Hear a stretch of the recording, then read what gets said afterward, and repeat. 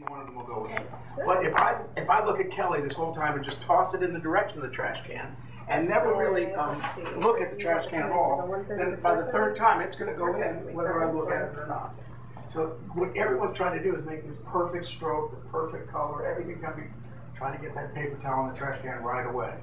Just get close, just get close, the next time you'll Well, find what it, doing and the final time you don't even have to look, it'll just be perfect. That And fifth if you really try to get that perfect stroke, it slows you down. And then we'll be It close takes to the last things, Tuesday. You're trying to, everything's gotta be perfect instead of, ah, just get it close enough. These aren't kids, these aren't your dogs. Well, they're, they are what your dogs are to your kids. Ah, so he's throwing up, no. That's what they do. Okay. You know, it's not, like- it's not like, oh my God, my child is throwing up. This is a dog, this is a painting, just learn with it, get close. If he's like bleeding, then do something. But, you know, just get close to the trash can this time. And you'll be done in three layers, and you'll be thrilled, you'll have a lot of fun, you move to the next one and see what you're doing. Okay, don't try to be perfect, I know, it's really hard